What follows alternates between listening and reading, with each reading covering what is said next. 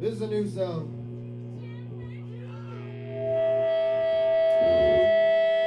Sold the fires of hell.